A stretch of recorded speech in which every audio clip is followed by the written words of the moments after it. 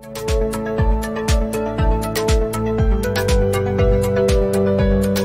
uh, that's the presentation, and if you uh, if you feel or if you want to, Max, feel free to stop recording.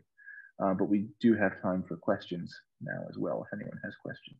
Yeah, I, um, I'm going to continue the recording, uh, but we're going to do something a little bit different. The videos are long on YouTube, so it uh, cuts the. I'll cut this out, this part out, but the video um, starts downloading once I end the meeting here. So I'll basically split it up into two. So we'll do the presentation first, and then we'll do the you know Q and A and discussion after, and then I will tell you guys when I stop recording, so you can um, you know do do and say you know whatever you want.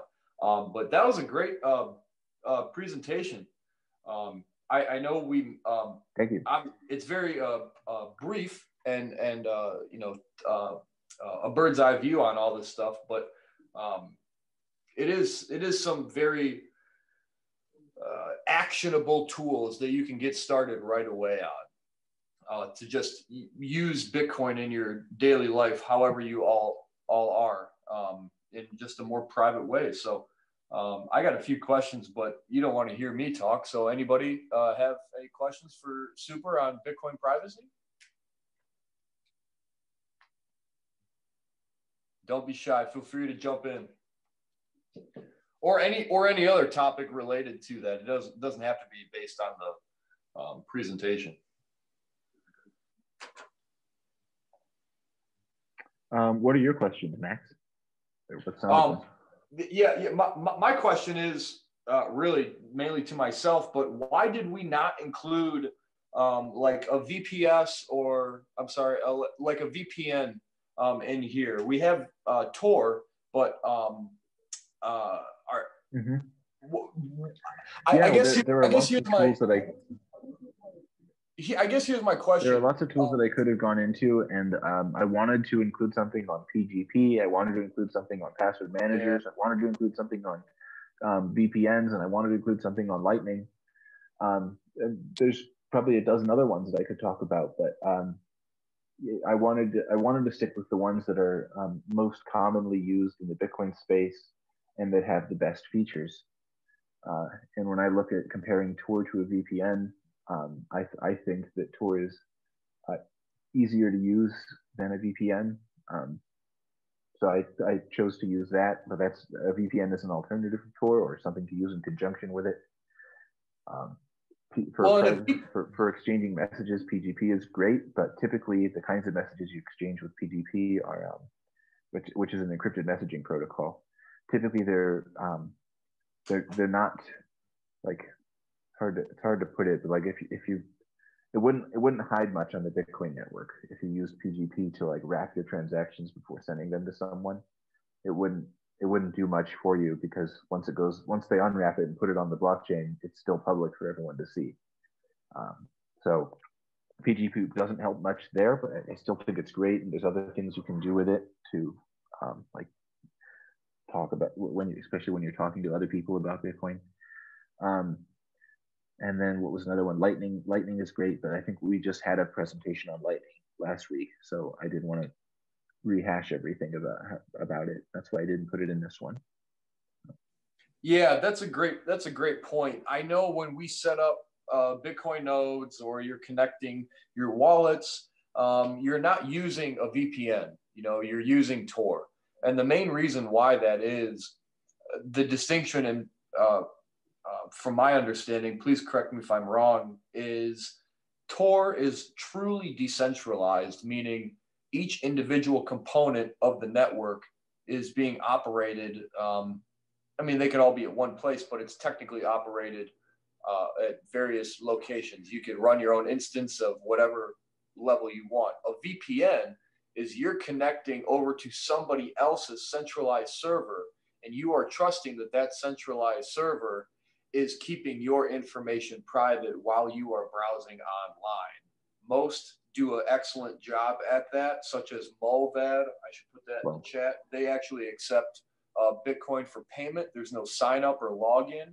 Um, and I heard, I think it was either from Ty or uh, from uh, Matt, that they're going to be adopting uh, Lightning payments um, for uh, purchasing the VPN on Mullvad. But other great VPNs uh, mm-hmm. like Proton Mail, I mean, NORAD is okay, but it's pretty common. Um, the problem with VPNs is they're you're, you're pointing to a, a, a server where Tor is actually truly distributed in terms of of that. So it is more akin. Yeah. So the network that uh, if I was trying to explain the difference between them, I would say a lot of similar things. Um, Tor is more distributed than most VPNs are. Um, and uh, Tor is, is a lot is a lot like a is a is a lot like a decentralized VPN, um, where you are uh, in a VPN you connect to somebody else's computer and then instead of showing your IP address when you connect to other people's servers, it shows theirs. Uh, with Tor, you're kind of doing that, but there's a lot of hops. Um, it's like it's like using 10 VPNs in a row, kind of. Um, like so, even if they when the person on the other side sees an IP address, they see the, the 10th person's IP, the 10th person in your chain of hops, they see their IP address, and it's way separated from yours by that point. Um, so that's that's one difference between Tor and VPNs. But there's one of the pieces of nuance is also that you can run your own VPN, you know, or you can get your friends to run VPN and then have a have a circle of friends who you who you connect to their computers um, with. Like uh, OpenVPN is is VPN software that anyone can download and run. Um, and I use that on a regular basis for for VPN usage because um, I have I have a computer in Michigan and I live in Puerto Rico, so I connect to the computer in Michigan when I'm doing stuff. That way, they don't get my IP address. In Puerto Rico, whatever service I'm connecting to gets an IP address at Michigan. Um, so you can you can do stuff like that with a VPN, like install your own on a computer in a remote location. Use that. Um, that's uh, that's an option. You can also get one. You can have it install it on a friend's computer and then just like randomly select which friend you're going to use this week, or or even on every time you connect to the internet. Um, there's there's lots of cool things you can do with VPNs that you can't do with Tor. But yeah. uh, by the same token, Tor is also more more anonymous and more automated. Like you just download it and everyone's already like set it up, set everything up for you, so it all just works. Whereas with the VPN, there's more fiddling to do. Yeah, and and on that note, I just thought about it as well.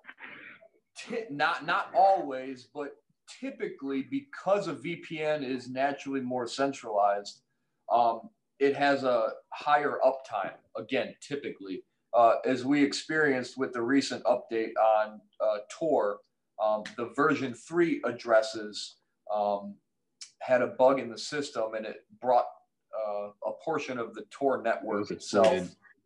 Yeah, yeah. So yeah, you know, and that's another point. So Tor, Tor is also has central has central points of failure. There there is a um, there are there are, is a certain number of people who basically it's it's hard to say they run Tor, but they have like a critical there's there's a there's a group of like 15 computers that have a critical role to play in the network, and if those go down, the whole network goes down.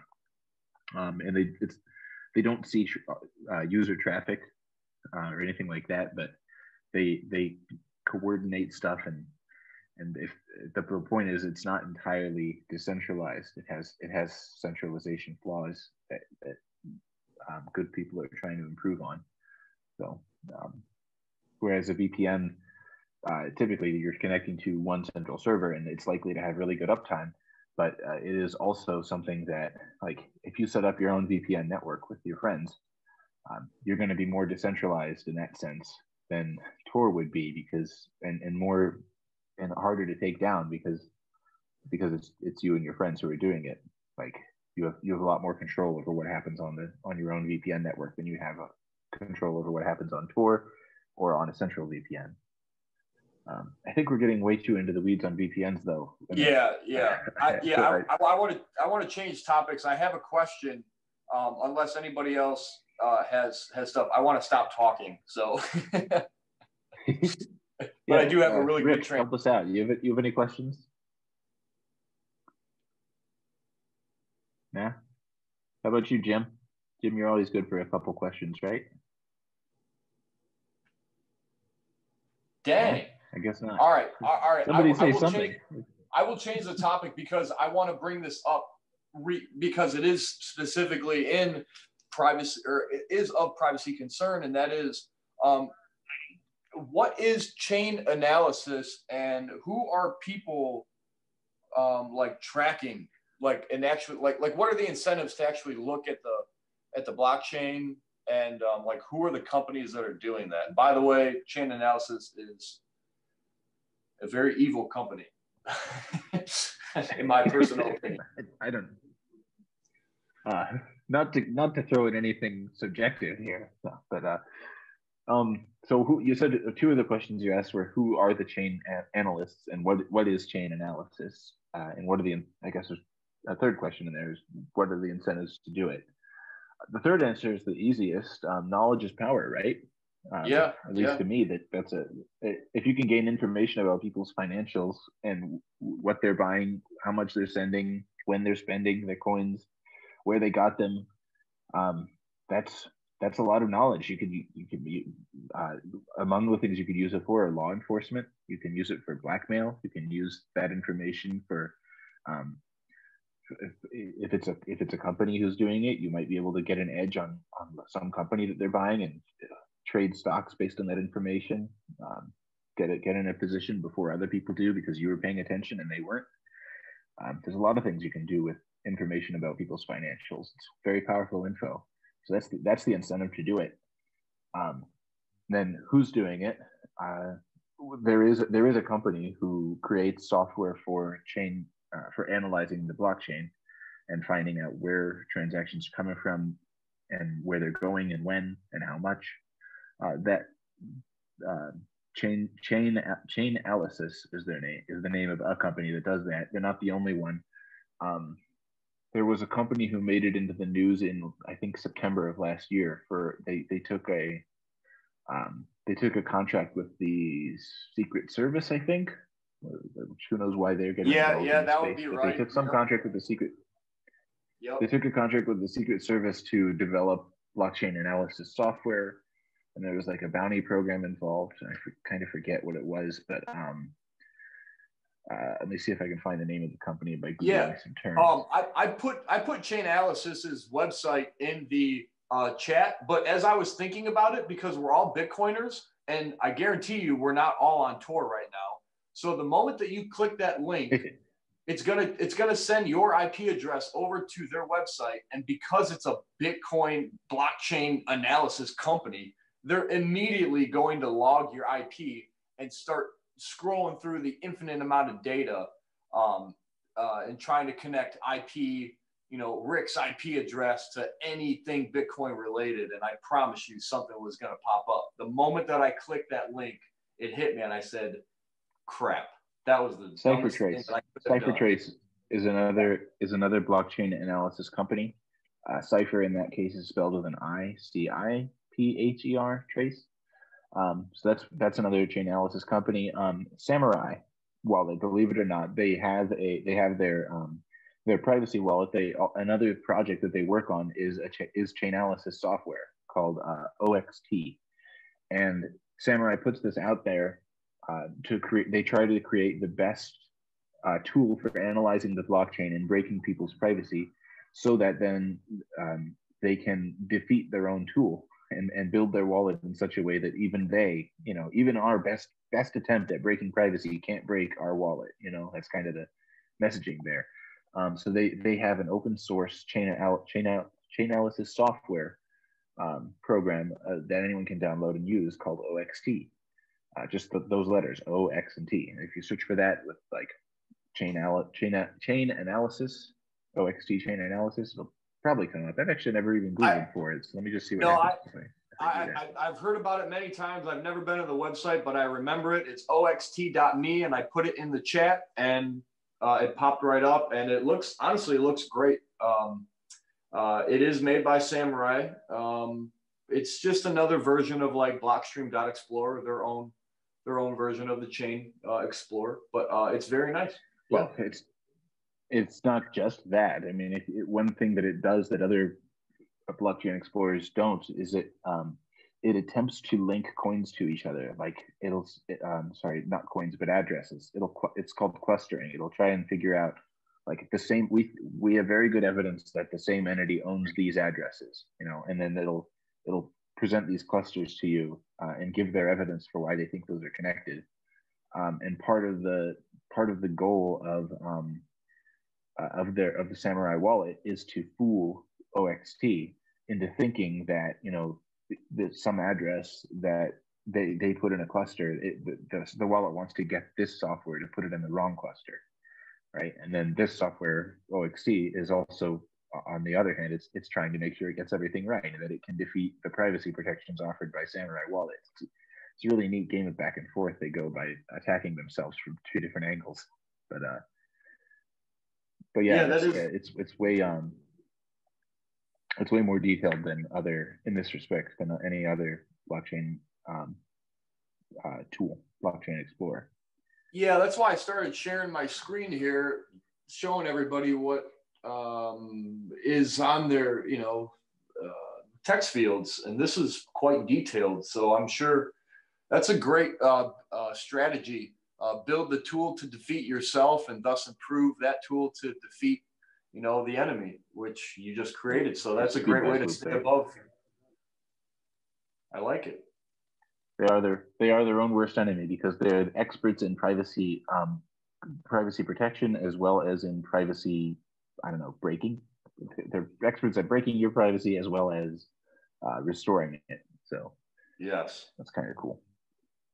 Any other questions about uh, Tor, Bisq, and other privacy concerns? Um, I just thought about it. Um, any uh, I, I know Rick, you did this for your first uh, Bitcoin transaction, but what are uh, a list of like peer to peer, you know, like either in person or you can go like to a store uh, and buy Bitcoin over the counter? Is there, you know, because it's a cash purchase, so it's it's uh, as private as you can uh, get, minus um, showing your face in front of somebody, but I want to bring up uh, LibertyX uh, for one of them. You will pay a, uh, a premium for the over-the-counter fee, but um, that's a great way to buy Bitcoin in person for cash.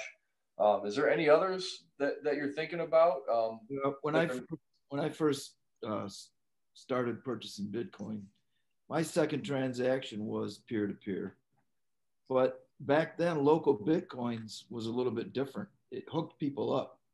Not and then for some reason the government got into their shorts and they stopped doing it. So i don't think that you can still hook up on local bitcoins peer to peer i might be wrong but i know you, they started for a while you can the problem is you have to um, disclose regular banking information you know regular kyc uh, so that's why it's not really recommended anymore. But yeah, local bitcoins was the uh, hot spot for a long time to for uh, peer-to-peer, um, in-person uh, Bitcoin transactions.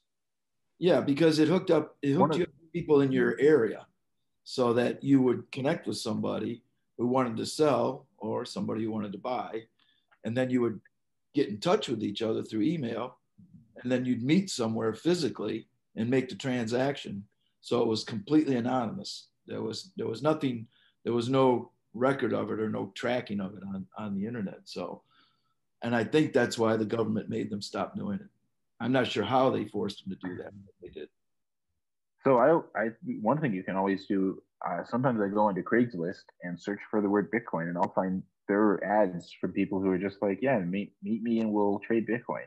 You know, and uh, I used to do that uh, and it worked out great for me. I never have heard of anyone getting any having any problems doing that. So um, uh, consider using Craigslist as just an alternative version of that, where you just put put an ad out there that you want to go trade bitcoins and wait wait to see who shows up or or who answers your ad. Yeah, and if there, and if there's anybody on this uh, in this group right now that's in the Detroit area, there is a group in Detroit that I'm a member of. I just haven't gone up there yet, but they meet every Tuesday physically.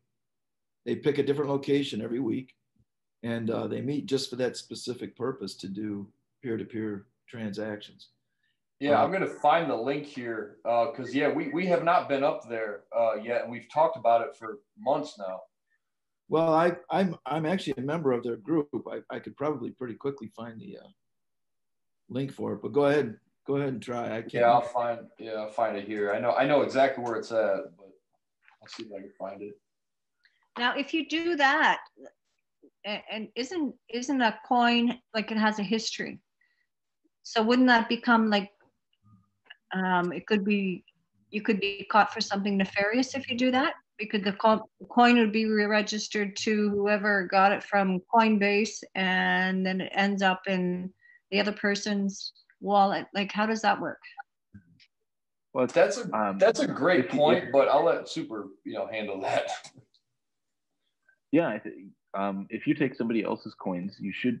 Uh, one way to avoid getting having the FBI show up at your door and start asking questions um, is to coin join. You know, is to, to, use some basic privacy protections so that uh, it goes to a fresh new address that no one's ever seen, and that coin join blocks the uh, anyone who's trying to follow that coin around from knowing where it end, knowing where it ended up.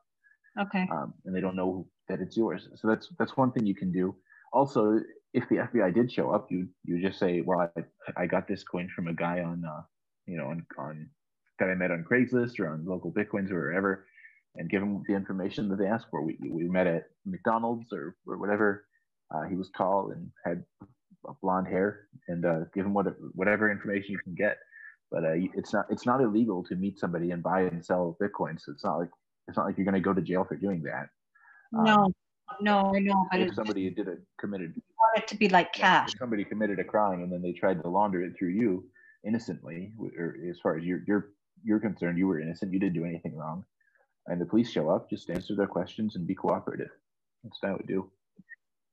Yeah. So you, you want to make it like cash. So you want to you want to do a coin join or something. Yeah, definitely.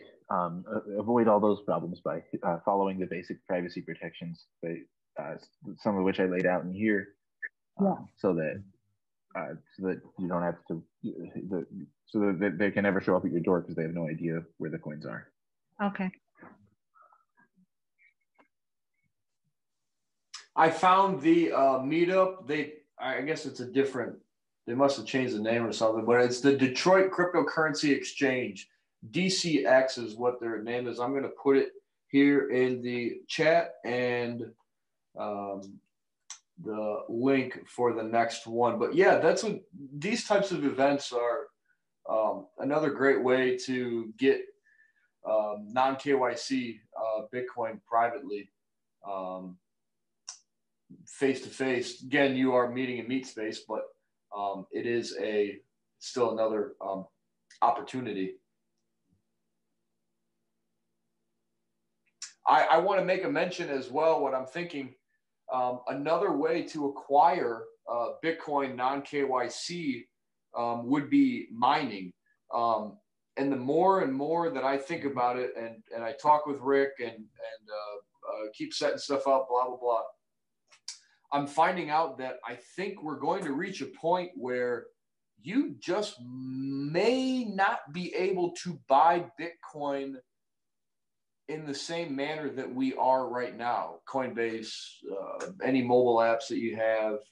Um, i think your only way uh, coming up in the next five to 15 years who knows? Um, without disclosing a lot of private information of course it's either going to be selling goods or services for bitcoin which is the best um, second would be in my opinion um, uh, I guess, uh, mining, because um, that's that's how bitcoins are created first and foremost. Um, and then third, you would use tools, um, you know, such as Bisq. Okay, uh, I, or, you know, again, in any order that you that you choose, but seems like seems like these easy on ramps are going to be more and more uh, censored and you know a ball and chain and fees and uh, privacy information uh, to be disclosed uh, as far and wide as the arms can reach uh, for whoever is in a, uh, enforcing those those actions. Again, you see it exactly what happened with uh, local bitcoins. That that was the global pay, place to go for physical peer-to-peer meetups, but um, uh, powers that be stepped in and and put their put their rules and regulations um, in place. The Craigslist idea is is actually a great idea. It's basically a. Sure, I mean, uh, they're not gonna, they're not going to like forbid people. I guess the the one thing they could do in order to forbid people from using a tool like Craigslist in order to meet up is, is they could say you're not allowed to meet up. You just you're just not allowed to meet people. Um, so uh, I wonder, I, in, in an age of lockdowns and of uh, social distancing, I wonder if uh, how easily they could just say, "Yep, in order to prevent Bitcoin trading, you're just not allowed to meet anyone. No meetups, no Craigslist. Just if, if we catch you meeting with someone, uh, you go to jail, straight to jail. Yeah, I but uh, that uh, if if it if they ever do that, or if they if we keep heading in this lockdown direction, hopefully people who love freedom and love um, liberty will just uh, elect different leaders who don't make such rules, and then we won't have to deal with that because freedom is uh, more important than um, preventing people from trading Bitcoin. Well, a couple things there. I, I'm not sure that we have the power to elect leaders anymore. I think that's selected for us. But also, I don't think it's necessarily even going to be COVID. I think, I think that the uh, it, it's going to get to the point where they're just going to say, uh, we don't want you people meeting and and doing these face-to-face transactions anymore because we can't control them. In other words, we can't, the IRS yeah. know what's going on. So I think at that point, probably, uh, I think the decentralized exchanges are going to step up. Don't you guys think that's going to be the thing of the future? Well, but that's uh, to me that's what it, that's what meeting somebody and exchanging bitcoins is. You can't get much more decentralized than meeting somebody and giving them cash and they give you bitcoin. But what, I'm, but what I'm trying to say is that if the government comes out and says, "Hey, you are not allowed to meet in person anymore.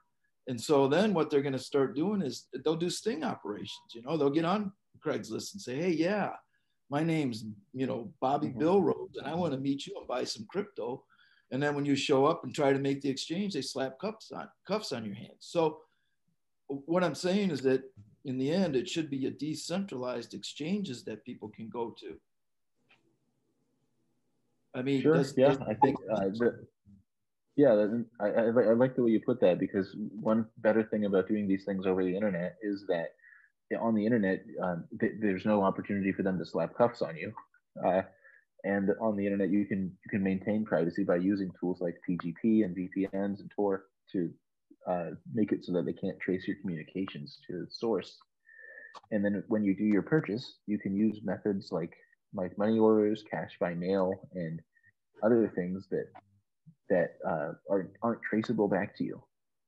So uh, yeah, I think you you put it in a good way. If they, if they if they forbid meeting up, um, and and then try to and then do sting operations and start slapping cuffs on people, uh, we'll have to turn to cryptography tools that are available on the internet in order to defeat those um, in order to defeat those measures. So do you know? But I think uh, do we know of any decentralized exchanges right now? Well, sure. I mentioned Bisq, right? Um, that's that's one. That's the one that I tend to use. Um, it's the only one I've used actually. Um, another Trade. one is local cryptos. Go ahead. What were you about to say, Christine? There's a few from um, I got from the Dollar Vigilante. I can uh, put the link. Do share. Yeah, go ahead. Put the link in yeah, the chat. Great. Thank you. Yeah, because I think that's really the way of the future. I mean, you know, getting away from Coinbase and all these places that that's where the government's going to go to try and, and you know, uh, throttle the on ramps and the off ramps. So if we can just come up with some, just keep coming up with decentralized exchanges that people can go to, you know, I think that's probably what's going to save us. Just my two cents. You can use uh, Uniswap. Right, but you can't um, on Uniswap. It's hard to get fiat currency into into Uniswap in order to trade it. It's only a, it's a crypto to crypto only exchange. So um, when you're trying to buy bitcoins, by taking your paycheck and turning it into bitcoins. At, at least to my knowledge, you can't use Uniswap for that. Uh, perhaps I'm perhaps I'm wrong, but it's my understanding. Do you know more about it, Ryan? Um, yeah, you're right. I mean, soon I think uh, banks are going to be doing stables, so stable coins would be um, the way in, maybe. But yeah, On that yeah, point, if, if, banks let us. Um, I, I want to mention, ahead, Ryan, that you just said something. On that point, I know I can't find the link. Please, somebody uh, share it if you know uh, what the website is or the link. But uh, the uh, OCC, the Office of the Comptroller of the Currency, released documents. It was the second one. Uh, I don't know if it was this, if it was in January of this year or if it was December, two months ago.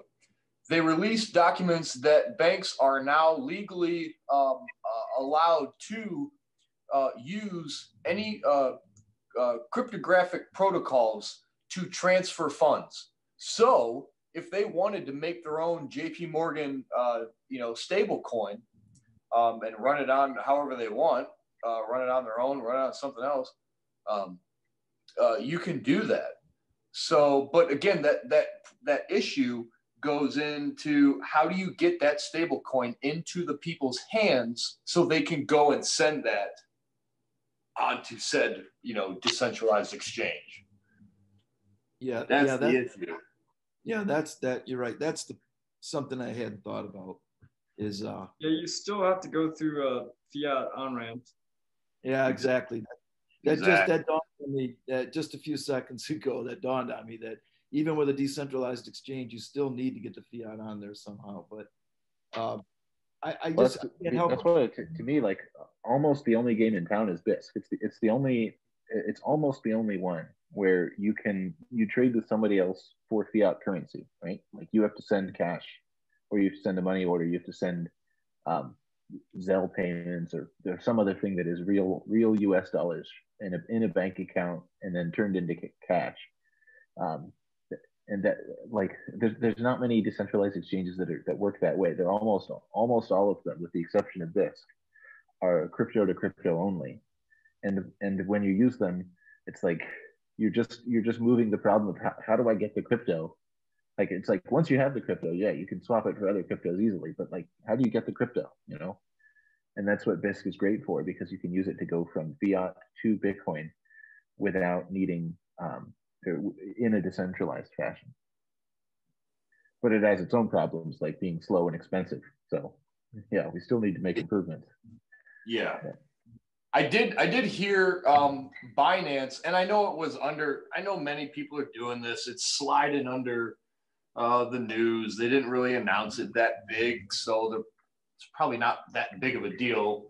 Um, but I know Binance announced uh, Binance Pay. I don't know when they did. It was recent or a while ago, but th- I think that exact issue that we're talking about is what companies like Binance and others are looking at now and saying, okay, great, we got all this stuff, uh, but we can't get that into people's hands. The transfer is not that easy. And it just hit me as well that I don't think the legacy systems and the governments that be want a simple exchange from, you know, fiat cash to crypto right. or, you know, people to be able to pay or deposit their stable coins or receive it for their weekly paycheck or yeah. Yeah, of course not. Of course not.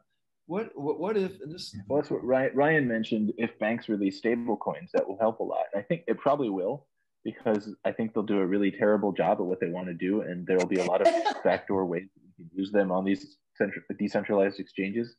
But um, their their intention with those is not going to be that you can send them to anyone you want. It's going to be like you can only send these to. At least my my thinking is like you can only send these currencies to people that we approve and have KYC. So you know, if you want to use your your thing on Uniswap or whatever, or some decentralized exchange, you have to get that person's identity and tell it to us, and and we have to confirm it, and then you can send them the coins. And it's like, well, that's not really a decentralized, or it's still it'd be still decentralized. It wouldn't be anonymous anymore, and it would take away the advantage of using using yeah. these things, these tools. Yeah.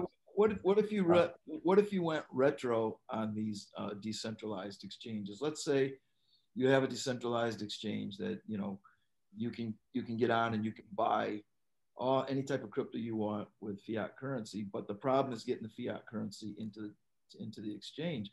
Well, what if you went back in time and started using something old fashioned like mailing money? You know, mm-hmm.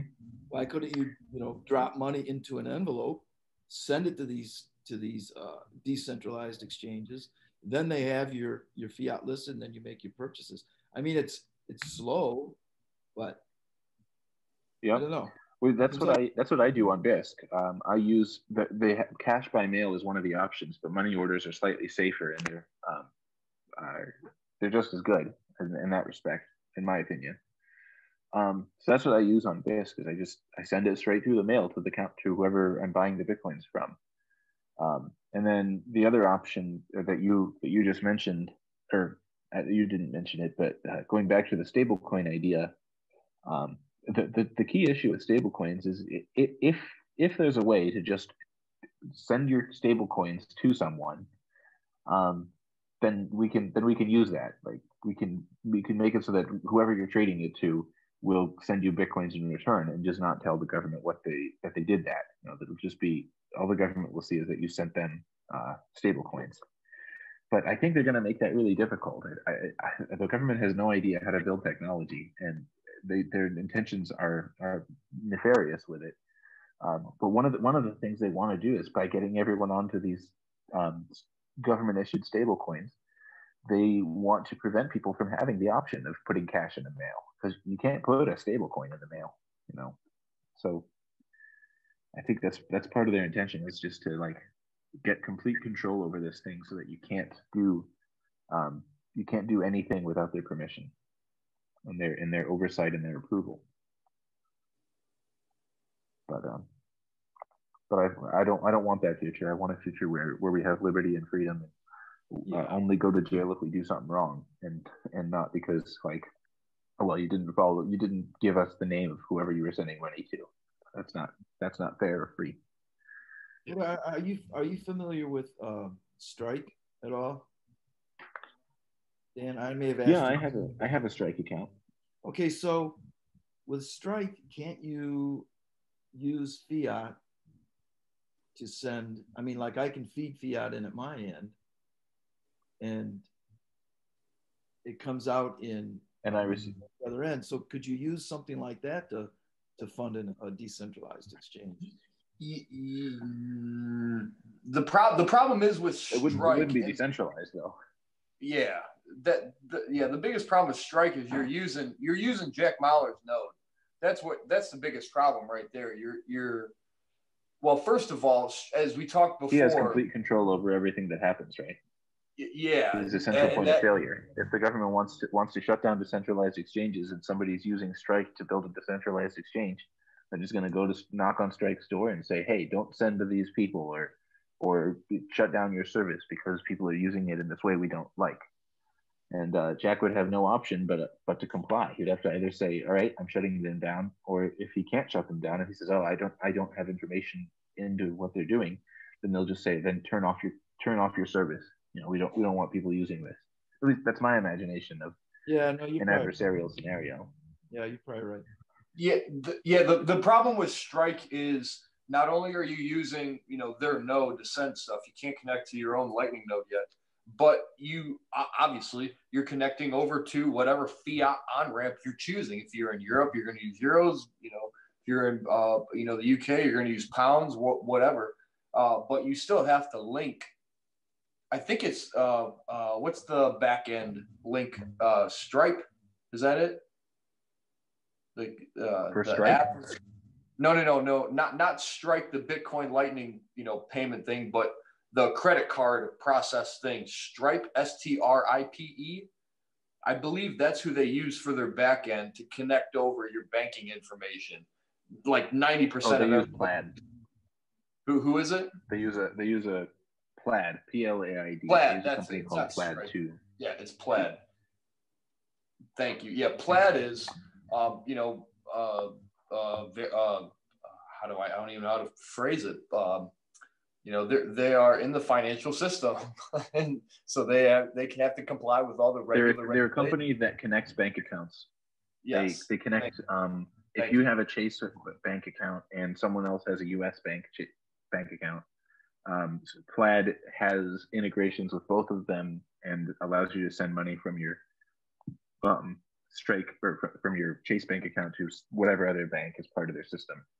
Um, and most banks in the United States are part of Plaid's system, so they that that enables payment payments to smoothly go from bank to bank if you if you use Plaid.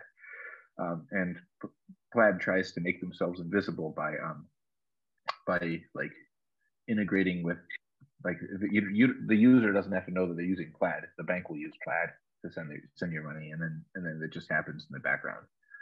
Yeah. Um, most people have never heard of Plaid, but it's an important company in the U.S. banking um, space. But but I mean, but that's a great point though, Rick. I mean, if you could build the decentralized version of Strike, I mean, that's really game over, right? I mean, you know, Strike already essentially defeated uh, you know, the financial uh, system like Swift, um, the, the, the payment rails like uh, Swift. Um, but man, if you could build a distributed version of Strike, oh my God. Well, that, and that's why, over. that's why I bring stuff like that up because, you know, if a guy like me doesn't really know that much about, you know, coding or, or building uh, blockchains and things like that, if I can think of it, then probably there's a lot of, whole lot of smart guys out there that are already starting to think about it. Hopefully, they're on their way to building these things. Yeah, somebody's working on that style, if if not Jack himself. Yeah. Is there any more um, uh, like privacy related questions or so? We're at about uh, like an hour and 40 minutes on the recording. Uh, no, about an hour and a half on the recording. So it's about uh, about 40 minutes each for a presentation and a, a Q&A. I'm trying to keep it under an hour or so. Seems like that's good for the YouTube, you know, viewing and stuff. It doesn't drag on too long, but um, again, I can edit all this stuff out and, and piece it together. But uh, is there any other um, like privacy related uh, Bitcoin questions uh, for that? Or um, if not, I can end uh, the recording, we can continue the discussion. I would just like to mention that thanks to thanks to this um, chat, Bitcoin briefly pierced 38 uh, 38,000 during this talk. Woo! Um, and came back. We're, we're slightly under that now. We're at 37.8, but I thought that was cool. Uh, start start presenting again. Like like our conversation. yeah. Yeah, yeah, super, super pumped up the uh, the NGU tech. Uh, he really, uh, you really primed that number.